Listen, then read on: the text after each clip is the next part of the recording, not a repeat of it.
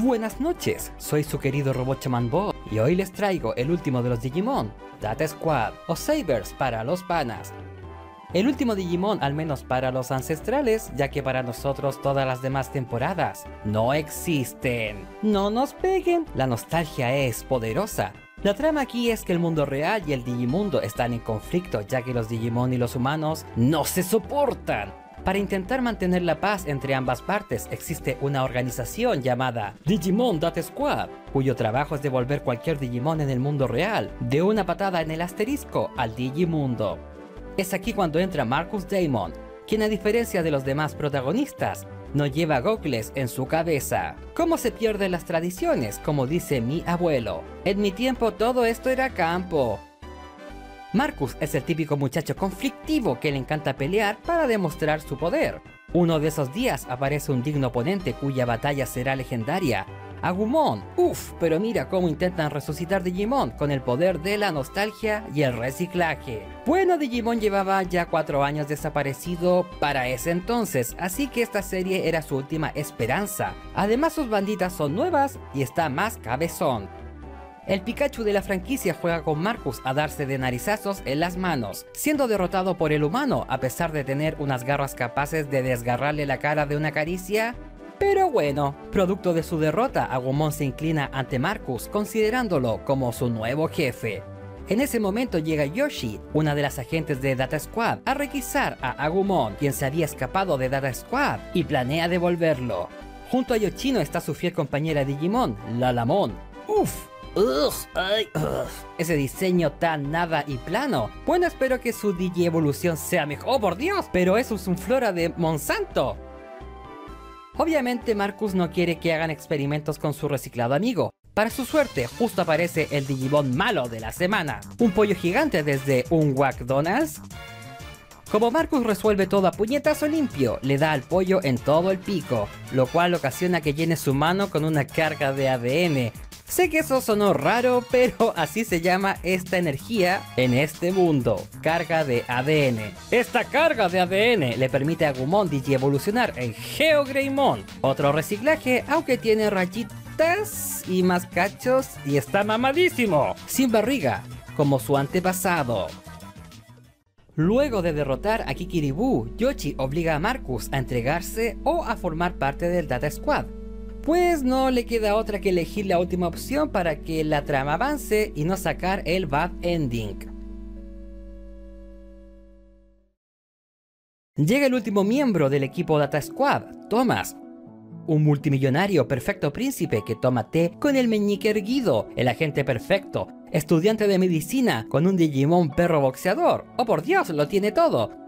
Bueno, su único defecto es que la voz de su Digimon como, como que no le va mucho. Creo que encontré una forma de salir de aquí. Marcus decide demostrarle al perfectito que él también es valioso porque está celosísimo, cometiendo un montón de errores por culpa de su ego, como atacar un Digimon fantasmita, a lo bruto, sin saber que él puede absorber su energía para multiplicarse. Aunque Thomas primero infravalora a Marcus y con razón, poco a poco se va dando cuenta que es un muchacho de buen corazón, comenzando el bromance. Uh. A Thomas también se le cae el caracho de frialdad y pedantería cuando conoce a la familia de Marcus, su pequeña hermanita Christy y su mamá, que pareciese que tiene como 4 años más que él. Así es, ya se estaba poniendo de moda en esa época los personajes que parecen más jóvenes de lo que son. Thomas se siente conmovido por la familia de Marcus, ya que la suya propia siempre había sido muy fría con él. La única que demostraba algo de cariño por el muchacho era su madre, que ya no estaba entre nosotros. Oh por Dios, por culpa de él mismo. Uf, pero aún no es tiempo para esa novela. Thomas promete que le celebrará el cumpleaños a Christie, planeando el día perfecto. Pero como cabía suponer, todo malestar, todos sus planes a la basura, con Digimon incluido, arruinando el día. Aún así, Christy le dice que es el mejor cumpleaños que ha pasado en su vida. Con esto se sella la amistad entre Marcus y Thomas, comenzando ahora Chiquechi su romance. Uh. Del cielo cae un huevito justo en la casa de Marcus, del cual empolla un Kuwamon, para posteriormente pasar a un Pillomon. Aquí vamos otra vez con la nostalgia y el reciclaje de proporciones desproporcionadas. Pronto llegaría Falcomon desde el Digimundo a recuperar a Pillomon, de los asquerosos humanos. ¡Puah! Rápidamente este es repelido por nuestros héroes. Pillomon se hace amigo de Christie, por este motivo el Data Squad cree que ella podría ser su compañera, e investigan si su ADN es compatible de una manera muy poco amigable. Si esto es efectivo, Christie estaría obligada a formar parte de la organización. A su madre no le extraña nada esto, ya que ambos son hijos de su padre, Spencer Damon, un antiguo agente de Data Squad, quien se perdió en una expedición al Digimundo hace más de 10 años. ¡Ja! Así le llaman ahora a ir a comprar si Marcus a punta de aletazos quiere devolver a Pillomon al Digimundo para que su hermana no tenga que unirse al Data Squad. Para su suerte, el derrotado Falcomon había ido a llorarle a su jefe, Merukimon, el malo malo máximo de este arco, para que viniese él mismo por Pillomon a la Tierra. No sé si Merukimon es un Digimon o alguien haciendo cosplay de Garurumon, por muy feo que parezca, Ig es de nivel mega, así que barre el piso con todos nuestros héroes, llevándose a Pillomon en forma de huevito. A pesar de renacer, Pillomon aún tiene los recuerdos de Christie, así que para resetearla por completo, Merukimon hace que Pillomon evolucione a Ankilomon para que ataque la ciudad, enfrentándose el mismísimo Marcus con esta. Cuando parece todo bajo control, evoluciona a Garudamon. Aunque Christie usa los típicos llantos de Por favor recuérdame Pigimon, estos no funcionan. Marcus ya no puede ver sufrir de esta manera a su hermanita. La única manera de derrotar a una Ultra Digimon es con otro. De esta manera, Geogreymon Digi evoluciona a su etapa Ultra Reciclaje. Metal Grey, es decir, Rice Greymon quien tiene tremenda nerf, recién comprada en el Walmart. De un puro piedrazo lo vuelve otra vez en un huevito. ¿Cuántas veces pereció el pobre Pillemon en este arco? ¿Qué clase de Leomón es?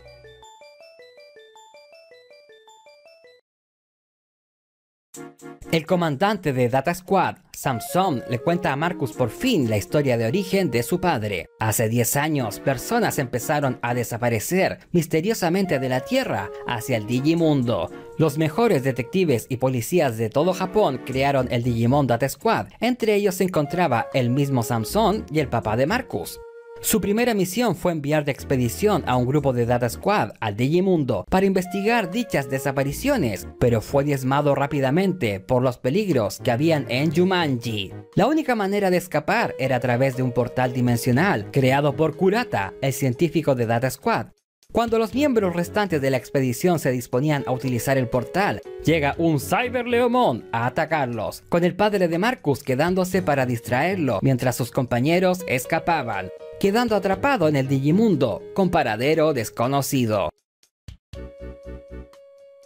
Nuestro trío de protas va al Digimundo en búsqueda del padre de Marcus, y de paso detener a Merukimon, quien planea eliminar a cualquiera que ose poner a su mundo en peligro. En el primer día en el Digimundo, se encuentran con Falcomon nuevamente, pero esta vez junto a su compañero humano, Kenan, una especie de mini Tarzan al cual le cuesta el hablamiento. Los humanos ser malvados, enemigos de todos los Digimon. ¿De qué hablas? Este pequeño cree que es un Digimon ya que fue criado por una Frigimon. Esta misma fue aniquilada por un escuadrón humano proveniente del mundo real, por lo cual le tiene un gigantesco rencor a los humanos. El segundo enemigo en aparecer es Metal Phantomon, el cual desarrolla personajes a base de traumas, como todo un duende verde. Este hace caer a todos nuestros héroes en un profundo sueño, o más bien pesadilla, donde sus más profundos traumas los acecharán. Yoshi observa a una niña muy edgy diciendo que odia a toda su familia, dándose cuenta de que era ella misma. Pero esa telenovela será para más adelante. El gusto de esta serie de dejarnos con las ganas. La novela que sí tendría conclusión por fin es la de Thomas, donde su familia era sumamente fría, excepto por su madre.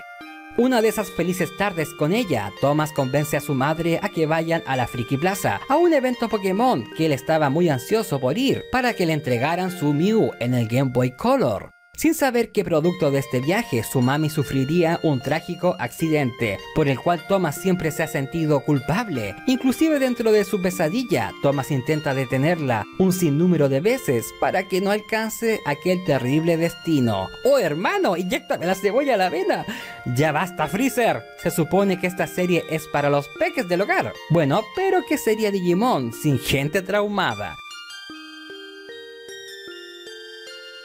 Lo bueno es que el muchacho se ahorraría este eterno ciclo de dolor, hablando con su madre, contándole cómo él no solo guarda los momentos tristes de ella, sino que también los alegres. Oh, estos sentimientos nobles de pureza le dan el impulso necesario para que Gaomon Ultra evolucione a Match Gaogamon, liberando a sus amigos de sus pesadillas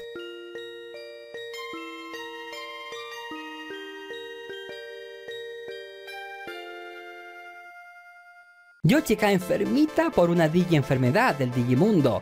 Kenan llega justo con Falcomon a atacar a los muchachos, pero solo se termina pegando el bicho, les pasó por andar a pata pelada. Ahora Falcomon y los muchachos están obligados a trabajar juntos para recuperar un antídoto, acercándose como camaradas, con Falcomon empezando a dudar si todos los humanos son malulos.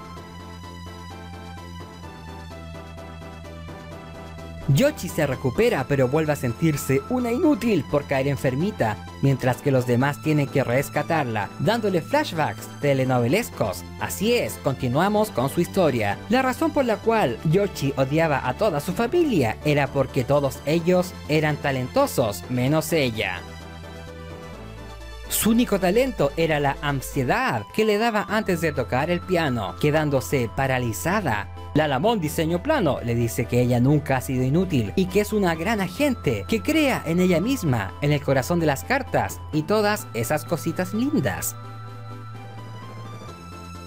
Con esto Yoshi recuerda cuando conoce a Lalamón por primera vez cuando le tocó una canción para quitarle la ansiedad. ¿Dónde venden Lalamos? Las necesito. Con esto, a la muchacha le sube la autoestima, otorgándole al Alamón el poder de Digi evolucionar al Lilamon. ¡Oh, Dios santo! ¡Ya es tercera vez! ¿Qué tienen contra la pobre Yoshi? Denle algún diseño bueno al menos en la etapa Mega.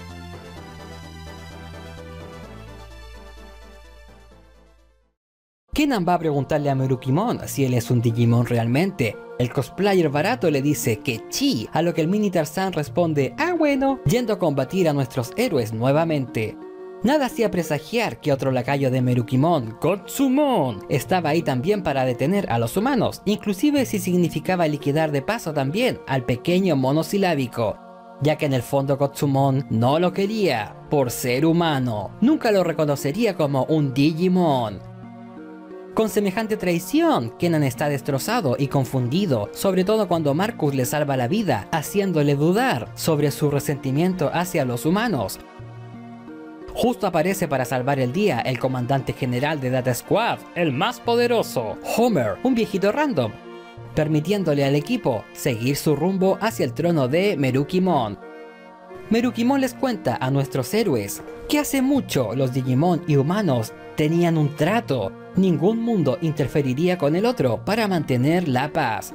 Pero hace unos años un equipo de humanos vinieron al Digimundo a atacarlo sin provocación previa alguna. Homer dice que eso es imposible y que no tenía idea de aquel suceso o el culpable que lo organizó. Ni siquiera los muchachos con sus Digimon en etapa ultra pueden hacerle un rasguño a Merukimon, pero al menos si logran hacer el daño suficiente en el mapa del juego, como para destruir su trono, el cual ocultaba el portal que había hecho Kurata hace 10 años, el cual los mandaría de nuevo al mundo real. Homer dice que se quedará peleando con Merukimon para que Marcus y los demás puedan escapar, usando su tortuga DJ, o por el amor del diseño, su última orden es que se lleve a Kenan con ellos, ya que es una de las personas desaparecidas durante el incidente de hace ya 10 años.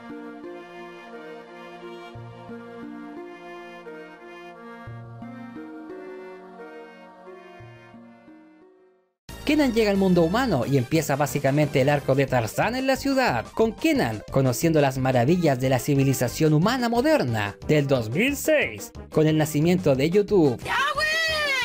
El muchacho va cediendo de a poquito a convivir con ellos, aprendiendo que no todos los humanos son malos. Todo iba viento en popa hasta que los muchachos deciden llevarlo con sus padres originales, quienes también eran antiguos científicos de Data Squad y parte de la expedición al Digimundo para buscar personas desaparecidas, especialmente su hijo. A diferencia de las demás víctimas, Kenan fue transportado por culpa de sus mismísimos padres quienes estaban experimentando con un portal que llevaba al Digimundo con la bendición estando presente en el mismísimo laboratorio. ¿Cómo es que llegaron a ser científicos? El grupo encuentra la casa de Kenan con sus padres, ahora cuidando a su pequeña hermanita. Uff. Con esto Kenan se siente completamente desplazado. Si esto ya no es lo suficientemente cebollento, el padre de Kenan reconoce a su hijo, pero le pide a los muchachos que se lo lleven, ya que su madre por fin se había recuperado del trauma gracias a su nueva hija y ver a Kenan solamente la devolvería a esos momentos de traumas, ya que ella aún se siente culpable por la estupidez que cometieron ambos. Pero esto no tiene sentido, ¿cómo se va a poner más triste? En serio, ¿cómo se hicieron científicos? Y más tontos son aún los de Data Squad, que ni siquiera van a hablar con la madre, simplemente se van. ¿O quién contrató a estos guionistas? Justo en ese momento un rayito pega en la casa y el portal nuevamente se abre, por accidente, trayendo a Tuerquitamon, quien se apodera de la casa, convirtiéndola en un Digimon gigante, el cual tiene la forma del robotito con el que Kenan jugaba de pequeñito. El Digimon absorbe la energía emocional contenida en ese juguetito para ganar poder y a su vez empieza a compartir los deseos de Kenan por recuperar a su madre, por lo que el robot gigante empieza a buscarla en el pastito. ¡Uy! Mamá, ¿dónde estás? ¿Dónde estás, mamá? Kenan sabe que su madre humana está atrapada en esa cosa rara, rescatándola, con la madre por fin reconociéndolo. ¡Oh, oh, por fin! Algo de alegría para el pobre muchacho, pero como al parecer los guionistas odian a Kenan, justo llega Hashima, el director de seguridad nacional, quien ha detectado que el viejo portal se ha abierto sin autorización causando un desastre, por lo que viene a encarcelar a los padres de Kenan. El muchacho con el corazón de oro se echa la culpa diciendo que él abrió el portal para que sus padres queden libres, escapando en el bosque, quedando sin familia, humana o Digimon. Ya que el hijo de la roquísima de Gotsumon le dice a Merukimon que deberían dejar de tratar a Kenan como un Digimon, considerando que los traicionó, conviviendo con el enemigo. Che, mi madre. Igual Merukimon no le hace caso porque a pesar de todo, aún siente afecto por Kenan. Justo en ese momento llega el peor enemigo de Merukimon, Cyber Leomon, entonces sí es un personaje importante y no un enemigo random. ¡Oh no! Aquí vamos otra vez. Si tienen a un amigo al lado viendo este video, apuesten si este Leomon es borrado de manera trágica o no. Cyber Leomon cree que Merukimon es débil y le falta odio hacia los humanos, por lo cual le ordena realizar un ataque final contra ellos, o él mismo lo hará. Kotsumon, el desagradable, escucha esto y le dice que quiere unirse a sus filas, ya que está cansado de esperar que Merukimon haga algo, a lo que el león encuentra esto fascinante, otorgándole su flota de Digimons. Kotsumon lanza un ataque al mundo humano con una armada de más de 4000 Digimons, amenazando con destruir la ciudad, si es que no se cumplen dos de sus condiciones. Primero, romper cualquier puente entre el Digimundo y el mundo humano. Segundo, deben entregar a Kenan, Obviamente nuestros héroes no lo entregarán sin pelear, pero Kenan decide entregarse por sí mismo ya que no quiere causar más problemas y porque su barco ya había sido demasiado triste. Para su suerte, alguien grita Jumanji abriendo un portal al Digimundo gigantesco, llevándose a Gotsumon y toda su armada de vuelta al Digimundo.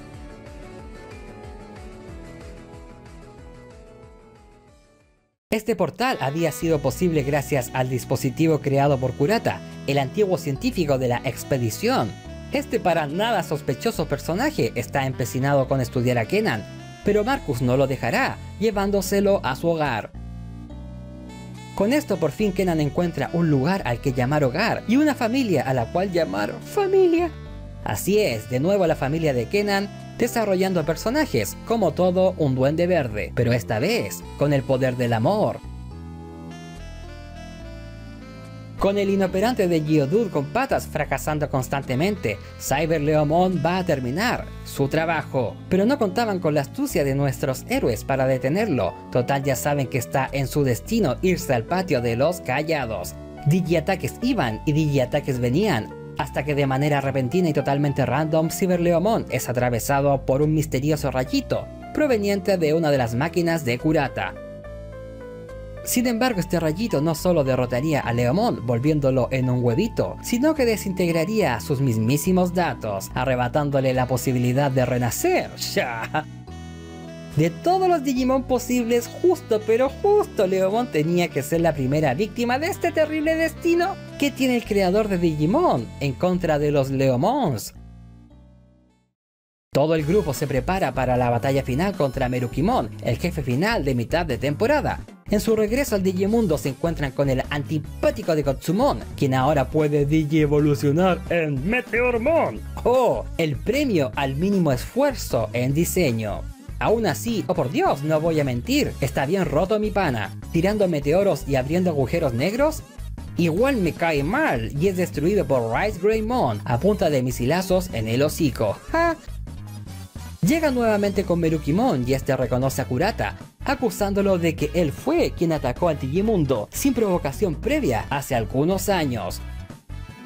Pero no solo eso, no no no, también es el responsable de la eliminación de Frigimon durante el mismo incidente. Usando aquel maldito rayo, por lo que Frigimon desapareció para siempre y no podrá renacer. Che, mi madre. Kurata se justifica diciendo que los Digimon son seres salvajes, exponiendo como evidencia que durante la expedición de hace 10 años fue atacado sin misericordia por Cyber Leomon, el mismo con el que se quedó combatiendo el padre de Marcus para que su equipo pudiese escapar. Merukimon cuenta qué fue lo que ocurrió con Spencer luego de que quedara atrapado en el Digimundo. Merukimon y Spencer tuvieron una pelea donde a base de romperse los nudillos se hicieron amiguis, contándose mutuamente toda su historia. Como la expedición era para encontrar a los humanos desaparecidos y no para herir Digimons, y cómo ambos se parecían, ya que ambos luchaban por proteger a su familia. Merukimon construye su trono frente al portal para custodiarlo y evitar que ningún humano o Digimon viaje entre mundos. Plan que evidentemente no funcionó, ¿ja? Fue el padre de Marcus quien hizo el trato con Merukimon para mantener la paz entre ambos mundos, mientras que fue Kurata quien rompió dicha promesa. Con todo el plot twist revelado, Kurata hiere de gravedad a Merukimon con su rayito, el cual provenía de Gizmon AT, un Digimon artificial que había creado el mismo Kurata con los datos eliminados de los otros Digimon.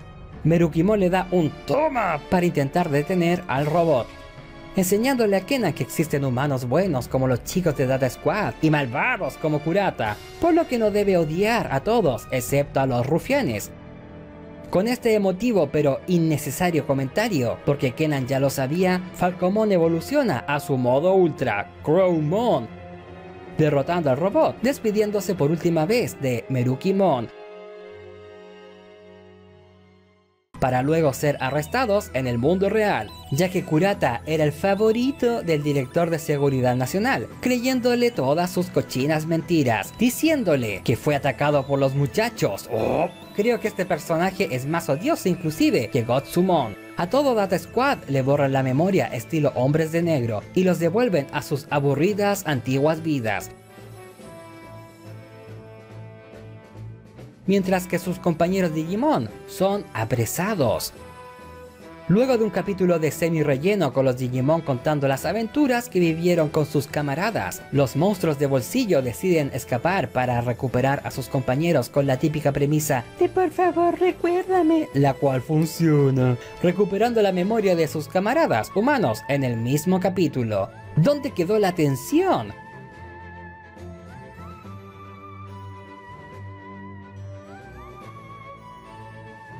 Cuando parecía todo digisolucionado, Kurata destruye todo el edificio de la organización de Data Squad, quedando él a cargo de la soberanía de la seguridad Digimon en la Tierra.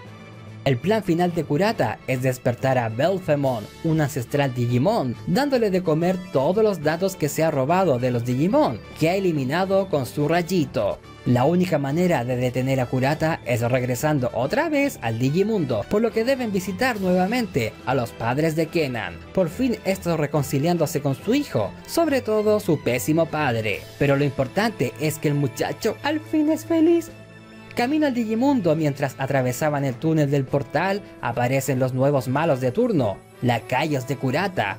Iván, el simpático definitivo, quien se enamora de Yoshi y siempre piensa en voz alta. Me pregunto si saldría conmigo. Bueno, tal vez no, pero claro, nunca diría eso en voz alta. Kouki, el impulsivo, siempre en busca de pelea. Básicamente es el Marcus malvado. De hecho, serán rivales. ¿Quién lo diría?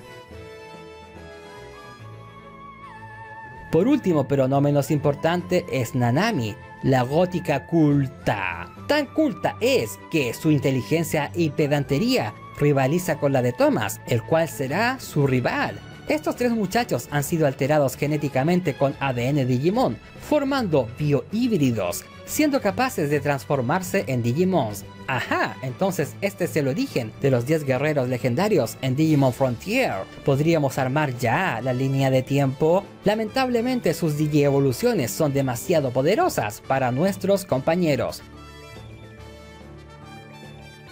Por suerte, el director Samson llega para ayudarlos con su digicompañero Kudamon, evolucionando a Shinrimon, dejando libre el paso a nuestros héroes para llegar al Digimundo.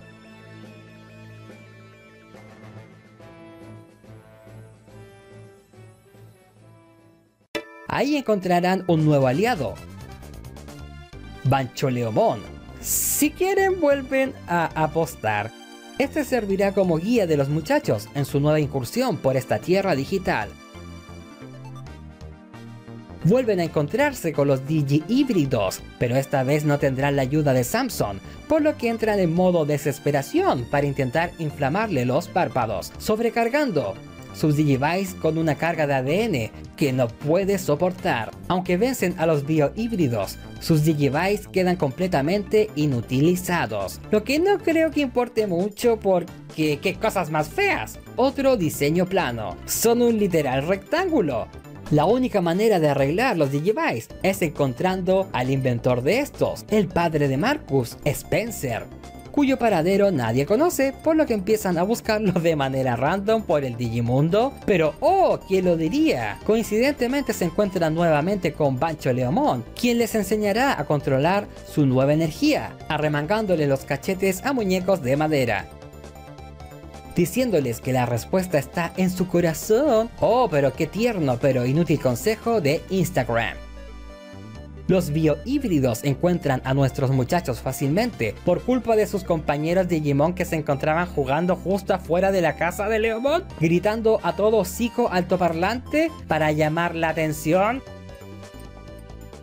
Daba lo mismo ya que Goku y compañía habían terminado por fin su entrenamiento, usando su nuevo poder para Mega Digi evolucionar a sus compañeros, pero esta vez los tres a la vez, Marcus y su Shine Raymond, me 6 de 10. Yoshi con Rosemon, al fin le dieron un diseño bueno. Podríamos decir que su diseño ya no es plano. Y como siempre, Thomas se lleva el premio a mejor diseño con Mirage Gaogamon, humillando a sus nuevos enemigos, que la verdad ya no intimida mucho que digamos. Llegan a la ciudad sagrada, una ciudadela llena de Digimons, sobre otro Digimon, uno de los lugares donde fue visto por última vez, Spencer, el cual es considerado una leyenda porque de un puro vergazo en el suelo soltó su ultimate, lo que salvó la ciudad de la sequía. Gracias a la popularidad de su padre, Marcus y sus amigos son recibidos como reyes, Kurata le tiene el ojo echado a esta ciudad debido a que con tanto Digimon habitándola, tendrá la energía suficiente para revivir por fin a Belphemon si se apodera de ella. Enviando nuevamente a sus lacayos, reforzados con una nueva Mega Digi evolución. Thomas se enfrenta a Manami. Durante todo el combate intenta convencer a Thomas de que se una a ella, ya que son igual de inteligentes y superiores. Uh, parece que la muchacha quiere arrebatarle su carga de ADN. No solo utiliza la fuerza para esto, sino que también sus juegos mentales y crisis existenciales, pero no contaba con que Thomas era inmune a los ataques tipo psíquico, ya que él es del tipo me importa una mier, derrotando a la muchacha, quien se queda con las ganas.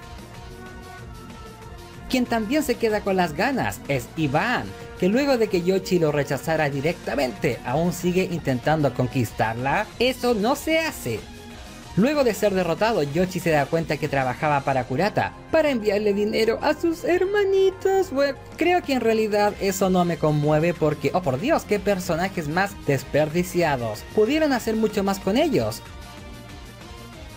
Como ya Kurata confiaba en sus innecesarios lacayos, detona sus dispositivos crea portales para transportar a toda la ciudad al mundo real, donde Kurata tiene el poder absoluto con el permiso del mismísimo gobierno para atacar la ciudad que ha invadido la Tierra, aunque no saben que fue gracias al malvado científico. Mientras tanto Marcus y Marcus Malo pelean en la ciudad del mundo humano con Greymon deteniendo por fin al último de los olvidables personajes con su nueva arma, la espada Geogrey. En serio, qué pena que estos personajes hayan sido tan mal utilizados. Kurata usa la lanza de Longinus para destruir el geofrente de la ciudad sagrada, absorbiendo toda su información,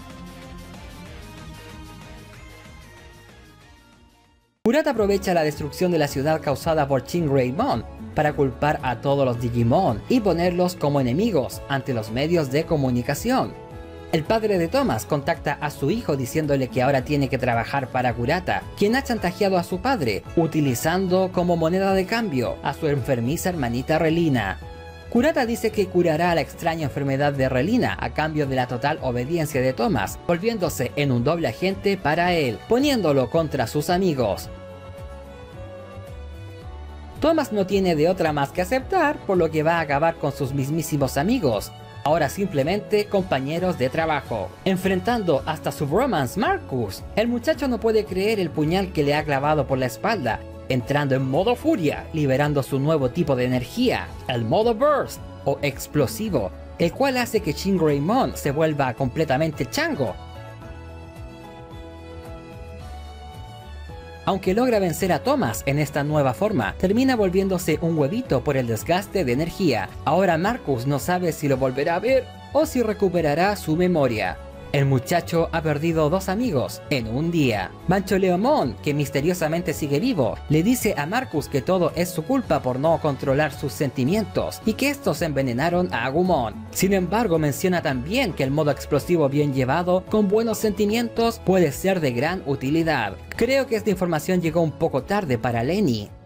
Kurata le ordena a Thomas que cree un comunicador que le permita hablar con Belfemont, para poder controlarlo a distancia con el Bluetooth, a lo que este accede. Ahora que el científico loco se ha asegurado por fin que Thomas se ha vuelto su fiel lacayo, se dispone a por fin curar a su hermanita. Su verdadero plan era volver a la pequeña en otra de sus biohíbridas. Mientras tanto, Belfemont por fin despierta, siendo controlado a distancia por Kurata. Este es el momento perfecto para que Thomas revele sus verdaderos planes, jugar a ser un minion de Kurata hasta que tuviese la oportunidad de rescatar a su hermanita, cosa que logra fácilmente, de paso destruyendo el transmisor que él mismo construyó, dejando a Kurata sin control sobre Belfemont. Nada hacía presagiar que Kurata jugaría su última carta trampa, bajo la manga, digitalizarse a sí mismo, fusionándose con Belfemont, transformándose en el bio híbrido definitivo, más grande de todos, con Belfemont liberando su verdadero poder, en modo furia, Marcus va a ayudar a sus amigos, aunque ahora sea completamente inútil. Por suerte para levantar los ánimos estaba Kenan, nuevamente con su discurso repetido de que humanos y Digimon se pueden llevar bien. Lo bueno es que este somnífero de discurso venía acompañado de una nueva evolución de su pajarraco a nivel mega, Ravemon. Aunque dura como un minuto luchando, ya que después de proteger a Marcus se nos desmaya. Pero su desmayo no sería en vano, con Agumon por fin eclosionando y volviendo al combate. Luego de tanto golpe y contraataque, Kurata ya no puede controlar a Belfemon, quien entra en modo Berserk. ¡Ah, pero qué es eso! Kurata lanza unas cadenas de Andrómeda a la ciudad para robarse la energía y recibir un power up, mientras embucha todos los dispositivos, crea portales que le quedaban. De alguna forma, este le da uno de los mejores power ups sacados del asterisco que he visto. Cada uno de sus ataques hace que se abra una brecha entre Digimundo y mundo real, por lo que si no es detenido ambos mundos serán pedazos, mutuamente. Marcus por fin encuentra el lazo definitivo entre él y Agumon, gracias al poder de la amistad. Aunque esto ya no es un chiste, sino que el poder de la amistad ya está confirmadísimo. Nuestro poder viene de una combinación tuya y mía y se alimenta de la amistad. Por eso, somos invencibles. Alcanzando por fin el modo explosivo real, dándole a Mon la digievolución perfecta, derrotando a Kurata, aunque tenga que quemar media ciudad entera de por medio. El último ataque cobarde de Kurata es detonar todos los dispositivos creaportales que había consumido Belfemon, creando un super portal gigantesco que está a punto de hacer colapsar a ambas dimensiones. Por suerte estaba Bancho Leomon para usar su Digi Energía para sostener ambos mundos. Pero que Gold está basadísimo. Sin embargo, su energía no es eterna, así que los muchachos solo tienen unos cuantos días para por fin encontrar al rey Drasil para detener esta catástrofe. Básicamente se volvió en Atena en la saga de Odín. Nuevamente un Leomon sacrificando su vida. ¿Quién lo diría? ¡Che mi madre! ¿Ganaron la apuesta? Marcus y los demás nuevamente van al Digimundo a encontrarse con el rey Drasil, sin contar que el mismísimo rey no podía salvar a ambos mundos del cataclismo. La única manera de salvar al Digimundo era destruyendo por completo el mundo humano. Para más telenovela, el rey Yggdrasil siempre había sido el mismísimo padre de Marcus, quien ahora odia a los humanos también. Para destruir a la humanidad, utilizará a los 7 Digimon más poderosos de la serie, sus más fieles sirvientes, los caballeros de la realeza. Oh, pero por Dios, Magnamon, Omnimon, Galatmon. Uf, no puedo con tanta nostalgia junta. Ah, y los dos monos feos de Frontier. Siete caballeros es demasiado nivel para nuestros amigos, así que antes de ser desintegrados en el infinito, llega Kentaurus Mon a salvarlos quien había sido un viejo miembro de los Caballeros Reales. Kentauros Mon no era otro más que Kumamon, quien había dejado la orden luego de ver a los humanos como buenas personas. Marcus aún sigue con la crisis existencial, pero sabe que debe superarla pronto y derrotar a su padre, ya que sabe que dentro de poco a Pancho Leomón se le acabará la energía, por lo que decide volver al Digimundo, mientras los demás se quedarán en la Tierra, defendiéndola de los siete caballeros Digimon. El primero en caer es Galanmon, en manos de Kentaurus Mon, quien se congela junto con él, a Locamus de Acuario, diciéndole a Galanmon que los humanos pueden evolucionar y cambiar, al igual que ellos pueden digi-evolucionar. ¡Ay, pero qué bonito! El segundo en llegar es el Afrodita de Pisces de Digimon Frontier, quien estaba atacando el avión que transportaba al padre y hermana de Thomas cuando estos eran evacuados por fin reconciliándose con su padre, al este darse cuenta de que siempre se preocupó por el nombre de la familia, en lugar de por sus hijos. El verdadero tesoro, dándose cuenta que las dinastías no valen nada, excepto por la de los Joestar. Con este impulso emocional, Marcus alcanzará el Burst Mode, junto con Kao Gamon,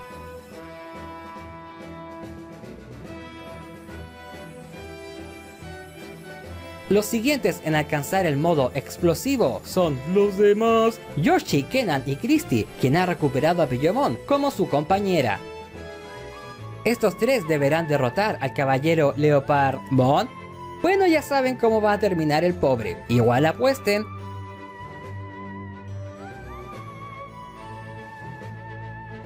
Al ver que Christy tiene un nuevo compañero, Yoshi y Tom le confían el mundo a la novata Kenan, esta muy muy irresponsable decisión le permitirá a los muchachos ir junto a Marcus para por fin derrotar a Spencer. Todos los muchachos se enfrentan al más fiel de los siete caballeros, Shura de Craniomon, quien posee el escudo más fuerte de todos y la espada más fuerte de todas. Igual lo derrotan, ja, por lo cual el escudo no era el más fuerte. Y le hacen ver lo equivocado que estaba, porque los humanos son buenos y a todo eso. Comienza la batalla entre Marcus y Spencer, a base de caricias en el hocico, con sus amigos siempre apoyándolo cada vez que el muchacho caía. Literalmente,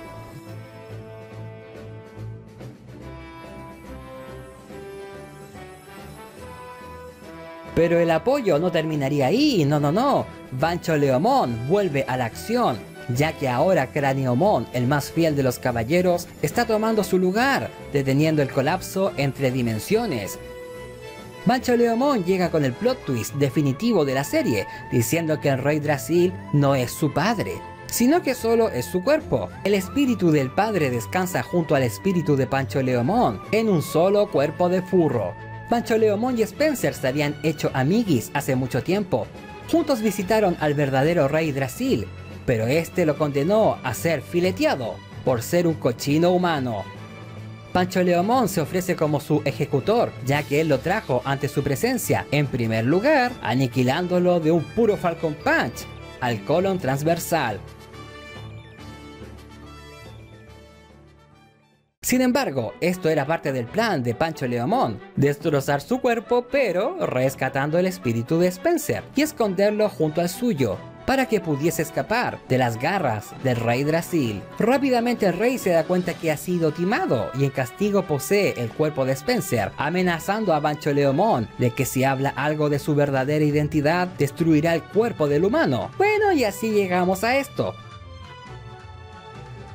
Pancho Leomón se pega un Goku vs Raditz, capturando a Yggdrasil, diciéndole a Marcus que aproveche para darle el golpe final, aunque esto signifique acabar con su mismísimo padre, y de paso con Pancho Leomón. No podían mantenerlo vivo por esta temporada, ¿cierto? Con lágrimas en sus ojos, Marcus extermina a su padre y al buen Leomón, sin embargo, nada hacía presagiar que producto de esto, el verdadero espíritu de Yggdrasil aparecería en su forma original, la cual era una supercomputadora que había sido creada para monitorear el comportamiento Digimon y humano, pero que se había terminado volviendo el rey de los Digimon. Ahora quiere resetear ambos servers, destruyendo el mundo humano mientras vuelve a todos los Digimon en huevitos, Todos los caballeros que quedaban le dan vuelta la espalda al rey Drasil al ver lo buena que son los humanos. Aún así no pueden derrotarlo, necesitan aún más poder. Es así como se forma la Genkidama definitiva, con todos los humanos del mundo otorgándole sus cargas de ADN a los Digimon, para que puedan seguir manteniendo separadas ambas dimensiones.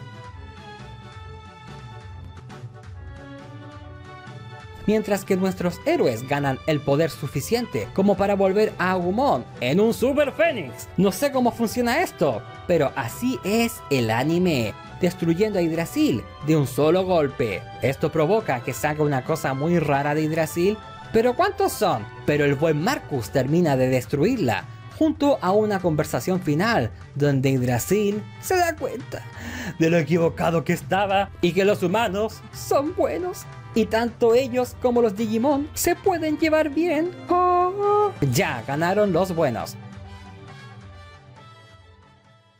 Todos nuestros compañeros vuelven sanos y salvos, siendo recibidos por sus seres queridos.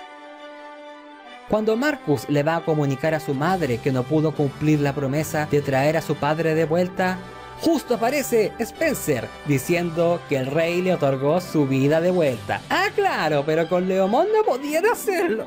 Esto ya no es gracioso, es triste. Comienzan los compases finales de nuestra historia, con el control de daños de ambos mundos. Todos los Digimon quieren volver a su tierra digital para ayudar con su reconstrucción, aunque esto significa abandonar a sus camaradas todos empiezan a despedirse de sus camaradas de manera adulta y madura. Excepto por Marcus, que no quiere que su amigo Digimon se vaya, aunque Agumon tampoco quiere abandonar a Marcus. Che, Mari. Cuando llega el día de decir adiós y Marcus no aparece, Agumon está a punto de poderse llorar. Pero justo aparece su mejor amigo Marcus, diciendo que viajará al Digimundo junto a Agumon y los demás a vivir nuevas aventuras y crear nuevos recuerdos. Luego de este evento han pasado 5 años, como vemos en el hermoso epílogo de la serie que taparon con los créditos. Muchas gracias. Yoshi se ha vuelto oficial de policía en Pat Labor. Marcus consiguió por fin su licencia médica con el Dr. Blackjack. Kenan y Christie están de pubertos enamorados. Uh. Mientras Marcus y Agumon seguirán siendo amigos por siempre. Así termina esta bonita historia de amistad, tal vez la más infravalorada de todas las temporadas de Digimon. Bueno, al menos esta gana en el número de Leomons desintegrados. Si te ha gustado este video, por favor me encantaría que me dejases un me gusta y te suscribas con campanita y todo para que sepas cuando suba el siguiente video. Además de que eso le gusta al tío YouTube. Sígueme en redes sociales, abajo en descripción y en el comentario fijado. Sobre todo en el tweak donde vemos monitos que aquí no podemos. Muchas gracias por ver hasta el final y me despido. Adiós.